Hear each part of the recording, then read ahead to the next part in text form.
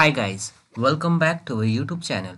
So in this tutorial, we're gonna learn how can we have a normal page view in Microsoft Excel.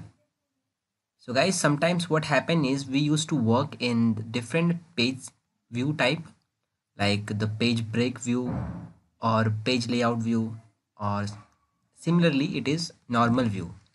So currently it's in different page type. This is not in normal view. This is in page type okay? Like page 1 page 2 and this line denotes the page division.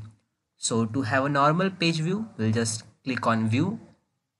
And here in this workbook views group we'll just select normal. So just after clicking guys as you can see this all views are gonna be normal. So this was the normal view guys.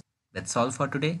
Thank you if you really like the content, then please like the video and click subscribe to see more videos like this. And don't forget to share this video with others. You can find the link to complete basics to advanced Excel tutorial in the description below or you can visit mahagurus.com to see lots of other software courses. Thank you.